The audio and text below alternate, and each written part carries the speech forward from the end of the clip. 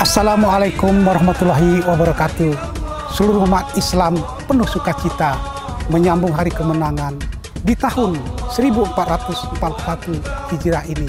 Pandemi Covid-19 masih saja berlangsung. Kita bisa bertegur sapa, bercanda gurau, berbagi cerita, tetap disiplin, jaga jarak, jaga kesehatan. Tetap di rumah saja. Sayangi orang tua, saudara, dan kerabat kita lainnya. Kita tetap bisa bersilaturahim, memohon maaf antar sesama.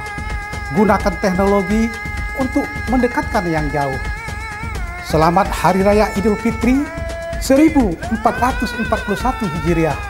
Minal aizin wal faizin. Mohon maaf lahir dan batin. Wassalamualaikum warahmatullahi wabarakatuh.